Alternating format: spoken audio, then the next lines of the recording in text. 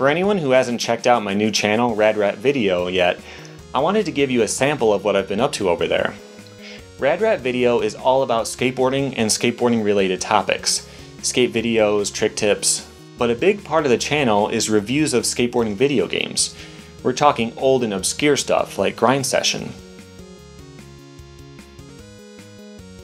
Street Skater, MTV Skateboarding, X Game Skateboarding with Bob Burnquist, Thug Pro, and up to modern mobile games like True Skate